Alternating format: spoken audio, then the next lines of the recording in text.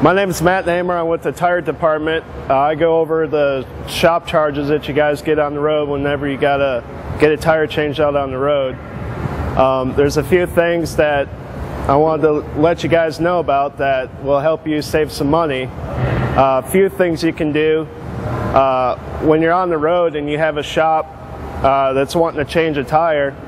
If you can get pictures sent either uh, through a cell phone uh, text message, what, any way you can get a picture to Road Assist to show what tires are wanting changed will be a huge help. If you have uh, road calls, another big thing is Qualcomm messages. Send either to your fleet manager or your Road Assist person, letting us know when the tech gets on scene and as soon as the tech's done.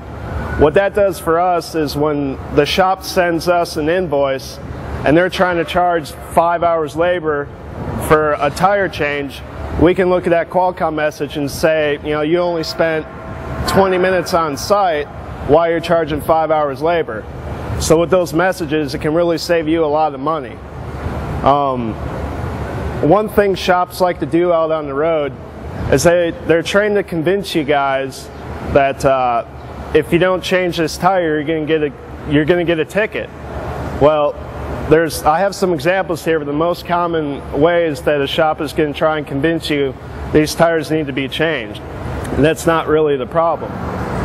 One problem right here with this tire, there's no steel or anything showing on here. This tire needs to be changed, but it can make it to a terminal. This chunk out here, there's nothing illegal with this tire. It looks ugly and needs to be changed, but it can wait till we get to a terminal. A huge thing out on the road are steer tires. This right here is called your decoupling groove. You notice how smooth it is right here?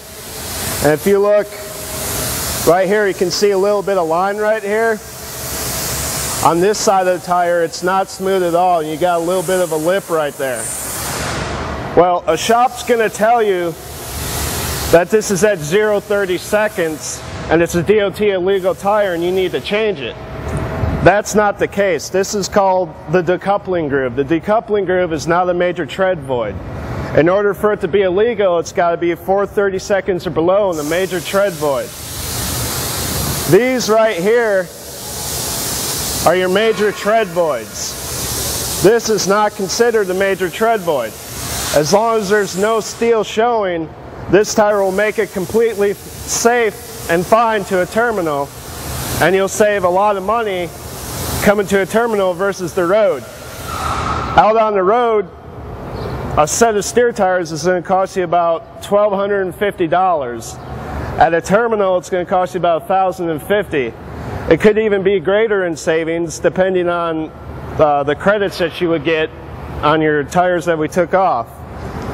When you're taking your tread depths on trailer tires and drive tires, the real way that you need to be checking is you have these here that are called fillets and you have your wear bar.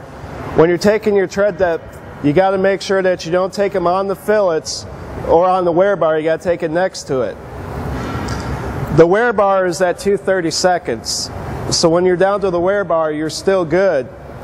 And you can get 10 to 12,000 miles per 30 second and still make it to a terminal and get a tire changed at a terminal. Fillets or stone ejectors, wear bar. When measuring your drive tires, steer tires, or trailer tires, always remember to take the tread depth at the lowest point. You don't take it from the wear bar, which is at 230 seconds, and you don't take it from the stone ejectors or fillets. So whenever you're tread depth in your tires, be sure to get to the lowest point on the tire in every major tread groove. Another thing that you need to look for, if a shop tells you that your tire has a sidewall bulge, there's, there's a few things you can tell to see whether it needs to be changed or not. If the bulge is less than 3 8 inch, it doesn't need to be changed. If it's over 3 8 it probably needs to be changed. Here at Prime, when we do a section repair on a tire, there'll be this blue dot, this blue triangle on it. That tells DOT that there's a section repair on this sidewall. So anytime you see one of these blue, sometimes they're yellow, dots on the sidewall and there's a bulge. Generally, they go hand in hand and that tire is still fine to roll. Another common problem with tires is this tread lift. The shop is going to tell you that you're having cap peel and that this is about to come off and you need to change the tire. This is strictly cosmetic and there's nothing wrong with this tire. You notice I can't pry this up or get in there at all. It can be all the way around the tire like it is almost on this one. Once again, my name's Matt Namer and I work in the tire department.